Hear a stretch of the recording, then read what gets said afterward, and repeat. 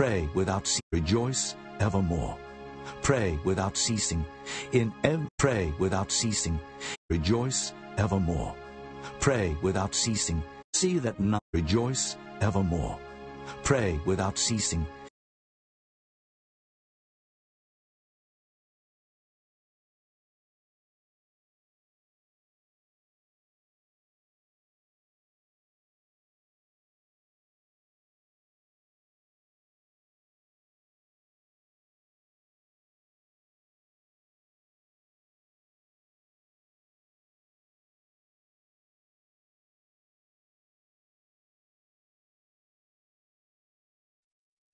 Matthew 6 Take heed that ye do not your alms before men, to be seen of them. Otherwise ye have no reward of your Father which is in heaven.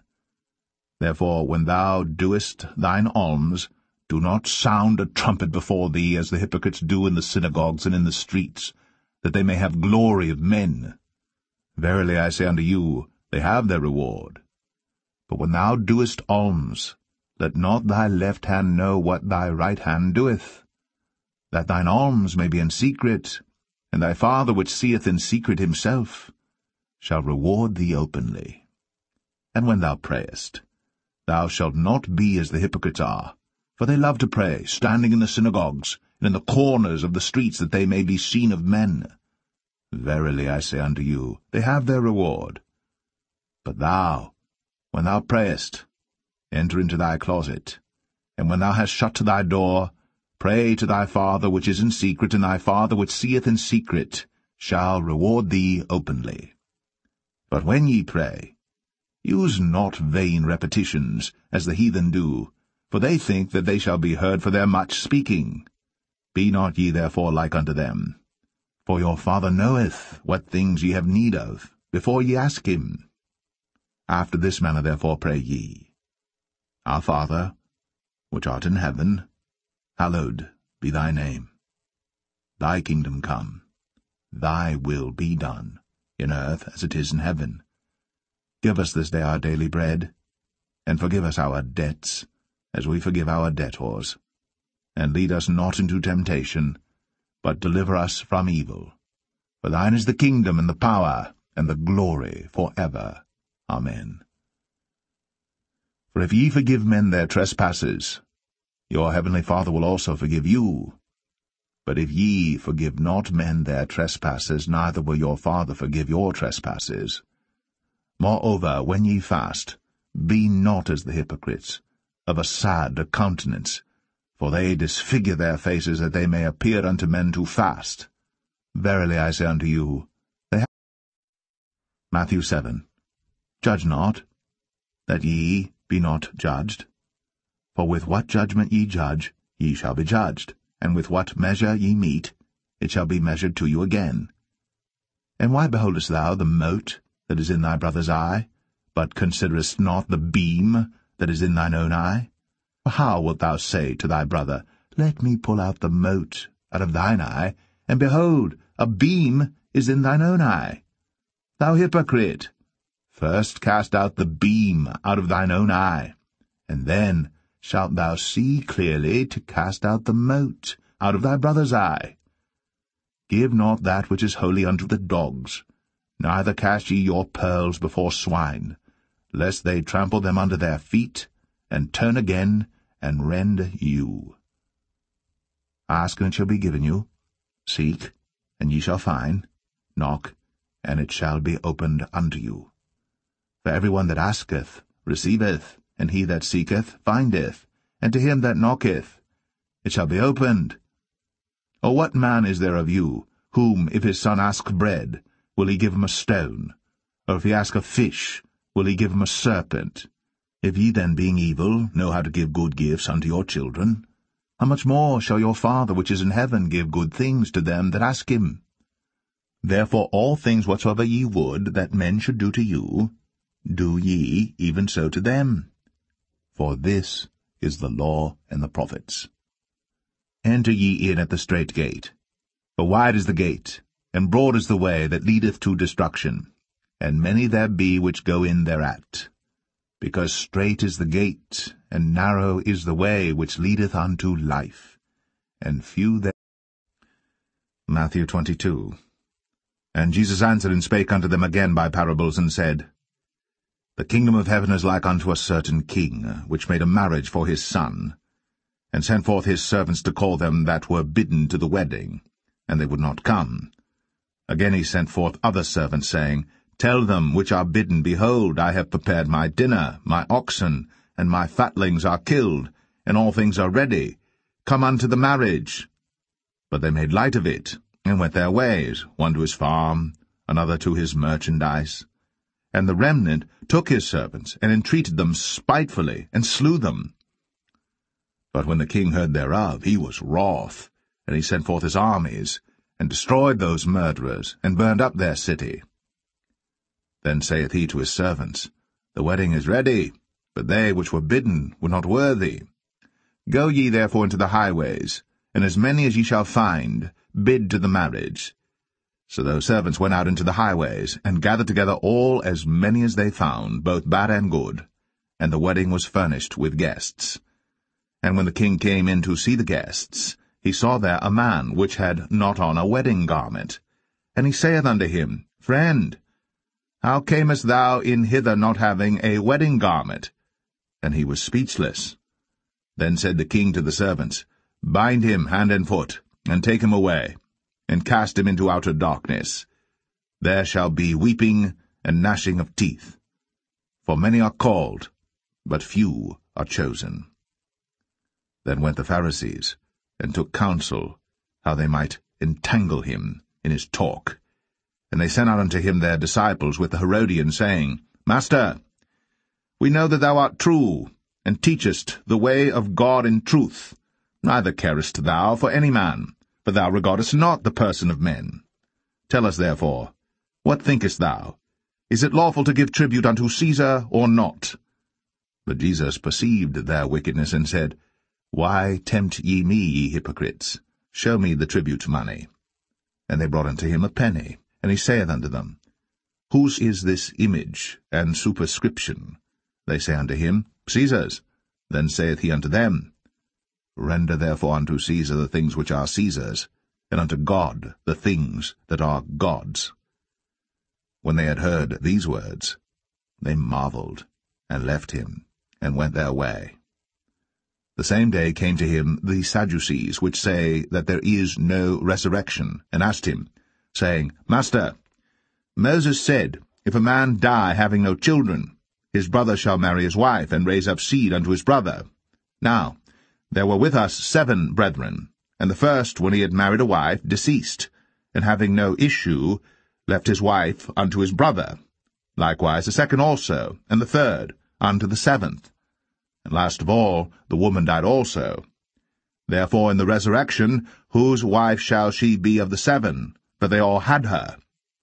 Jesus answered, and said unto them, Ye do err, not knowing the Scriptures, nor the power of God. For in the resurrection they neither marry, nor are given in marriage, but are as the angels of God in heaven. But as touching the resurrection of the dead, have ye not read that which was spoken unto you by God, saying, I am the God of Abraham, and the God of Isaac, and the God of Jacob. God is not the God of the dead, but of the living. And when the multitude heard this, they were astonished at his doctrine. But when the Pharisees had heard that he had put the Sadducees to silence, they were gathered together. Then one of them, which was a lawyer, asked him a question, tempting him, and saying, Master, which is the great commandment in the law?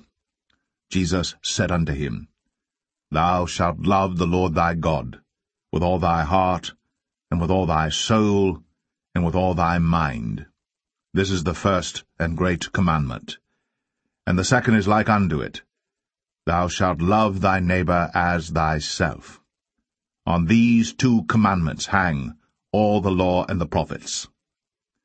While the Pharisees were gathered together, Jesus asked them, saying, What think Mark 9 And he said unto them, Verily I say unto you, that there be some of them that stand here, which shall not taste of death, till they have seen the kingdom of God come with power. And after six days Jesus taketh with him Peter, and James, and John, and leadeth them up into an high mountain apart by themselves. And he was transfigured before them. And his raiment became shining, exceeding white as snow, so as no fuller on earth could white them. And there appeared unto them Elias with Moses, and they were talking with Jesus. And Peter answered and said to Jesus, Master, it is good for us to be here. And let us make three tabernacles, one for thee, and one for Moses, and one for Elias. For he wist not what to say, for they were sore afraid. And there was a cloud that overshadowed them, and a voice came out of the cloud, saying, This is my beloved Son. Hear him. And suddenly, when they had looked around about, they saw no man any more, save Jesus only with themselves. And as they came down from the mountain, he charged them that they should tell no man what things they had seen, till the Son of Man were risen from the dead. And they kept that saying with themselves, questioning one with another what the rising from the dead should mean. And they asked him, saying, Why say the scribes that Elias must first come? And he answered and told them, Elias verily cometh first, and restoreth all things and how it is written of the Son of Man that he must suffer many things and be set at naught. But I say unto you, that Elias is indeed come, and they have done unto him whatsoever they listed, as it is written of him. And when he came to his disciples, he saw a great multitude about them, and the scribes questioning with them. And straightway all the people, when they beheld him, were greatly amazed, and running to him saluted him. And he asked the scribes, what question are ye with them? And one of the multitude answered and said, Master, I have brought unto thee my son, which hath a dumb spirit. And wheresoever he taketh him, he teareth him, and he foameth, and gnasheth with his teeth, and pineth away. And I spake to thy disciples that they should cast him out, and they could not. He answereth him and saith, O faithless generation, how long shall I be with you? How long shall I suffer you? Bring him unto me. And they brought him unto him. And when he saw him, straightway the Spirit tare him, and he fell on the ground, and wallowed foaming. And he asked his father, How long is it ago since this came unto him? And he said, Of a child. And oft times it hath cast him into the fire, and into the waters, to destroy him. But if thou canst do anything, have compassion on us, and help us. Jesus said unto him, If thou canst believe, all things are possible to him that believeth. And straightway the father of the child cried out, and said with tears, Lord, I believe. Help thou mine unbelief. When Jesus saw that the people came running together, he rebuked the foul spirit, saying unto him, Thou dumb and deaf spirit, I charge thee, come out of him, and enter no more into him. And the spirit cried, and rent him sore, and came out of him. And he was as one dead, insomuch that many said, He is dead. But Jesus took him by the hand, and lifted him up, and he arose. And when he was come into the house, his disciples asked him privately, Why could not we cast him out?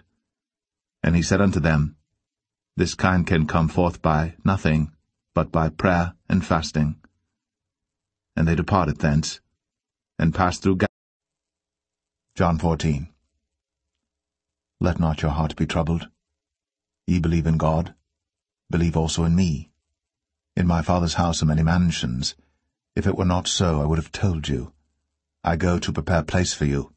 And if I go and prepare place for you, I will come again, and receive you unto myself, that where I am, there ye may be also. And whither I go, ye know, and the way ye know. Thomas saith unto him, Lord, we know not whither thou goest, and how can we know the way?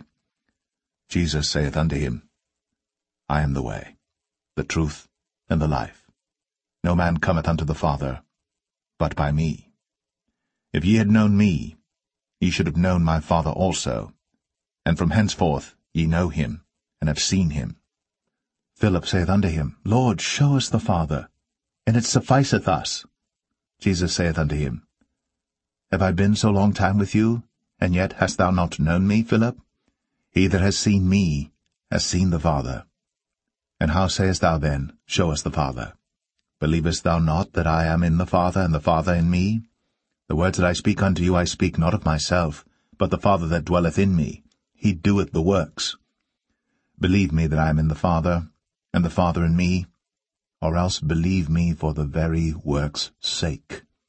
Verily, verily, I say unto you, He that believeth on me, the works that I do shall he do also, and greater works than these shall he do, because I go unto my Father. And whatsoever he shall ask in my name, that will I do, that the Father may be glorified in the Son. If ye shall ask anything in my name, I will do it. If ye love me, keep my commandments. And I will pray the Father, and he shall give you another Comforter, that he may abide with you for ever, even the Spirit of truth, whom the world cannot receive, because... Philippians 4 Therefore, my brethren, dearly beloved and longed for, my joy and crown, so stand fast in the Lord, my dearly beloved. I beseech Euodias, and beseech Syntyche, that they be of the same mind in the Lord, and I entreat thee also, true yokefellow, Help those women which laboured with me in the gospel, with Clement also, and with other my fellow labourers, whose names are in the book of life. Rejoice in the Lord always. And again I say, rejoice. Let your moderation be known unto all men. The Lord is at hand. Be careful for nothing, but in everything by prayer and supplication with thanksgiving, let your requests be made known unto God. And the peace of God, which passeth all understanding, shall keep your hearts and minds through Christ Jesus. Finally, brethren, whatsoever things are true, whatsoever things are honest, whatsoever things are just, whatsoever things are pure, whatsoever things are lovely, whatsoever things are of good report, if there be any virtue, and if there be any praise, think on these things. Those things which ye have both learned, and received, and heard, and seen in me, do, and the God of peace shall be with you. But I rejoiced in the Lord greatly, that now, at the last, your care of me hath flourished again, wherein ye were also careful, but ye lacked opportunity. Not that I speak in respect of want, for I have learned, in whatsoever state I am, therewith to be content. I know both how to be abased, and I know how to abound. Everywhere and in all things I am instructed both to be full and to be hungry, both to abound and to suffer need. I can do all things through Christ, which strengtheneth me.